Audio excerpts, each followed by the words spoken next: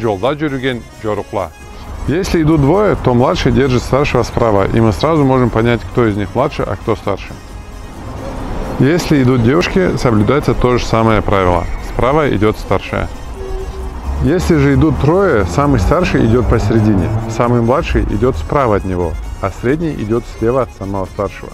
Это предусмотрено для того, чтобы если появится какое-то поручение, младший отлучается, а двое оставшихся идут в правильной позиции. Если идут больше трех, то самый младший держится правее всех. Соблюдаем ту же позицию, что и в предыдущей сцене. В случае, когда идут парень и девушка, Любая девушка идет справа от парня, кроме его супруги. Супруга идет слева. В данном положении мы можем наблюдать, что слева от парня идет его супруга, с правой стороны любая другая родственница или просто знакомая. В данном случае мужчина идет с двумя родственницами или знакомыми. Они, в свою очередь, соблюдают правила старшинства. Если парней и девушек больше, чем один человек, то они идут в два ряда. Днем парни спереди, девушки позади. Ночью девушки спереди, парни позади.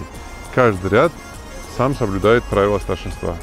Если мы видим, что идут двое парней, а справа явно идет младший, то значит этот младший является Шурином и идет справа в дань уважения. Мы видим, как идут двое парней и одна девушка. Девушка идет справа, значит она им просто родственница или знакомая. Парни идут, соблюдая старшинство. Младший держит старшего справа. В данном же случае девушка является супругой одного из парней, а именно того, кто держит ее слева.